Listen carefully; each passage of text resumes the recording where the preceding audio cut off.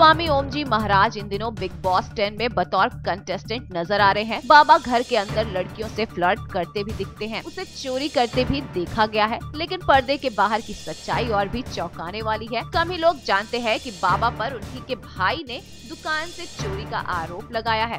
उनके पास से महिलाओं की अश्लील फ़ोटोज़ भी बरामद की जा चुकी है, जिनसे वो उन्हें ब्लैकमेल किया करता था। आपको बता दें कि बिग बॉस के घर में जाने से ठीक दो दिन पहले दिल्ली हाई कोर्ट में पेश न होने की वजह से ओम जी के खिलाफ गैर जमानती वारंट इशू हुआ था। लेकिन जब बाबा की तरफ़ से कोई भी पेशी नहीं हुई तो उसके खिलाफ फिर से यही वारंट जारी किया गया है। अगली सुनवाई 8 नवंबर को है। बाबा के खिलाफ ये चौथा गैर जमानती वारंट है। जो 2008 में चोरी के एक मामले में जारी किया गया था। 14 अक्टूबर की सुनवाई से पहले ओम जी ने कोर्ट से वकील की मांग भी की थी। उसने कहा था कि उसके पास पैसे नहीं है, इसलिए वो वकील नहीं रख सकता।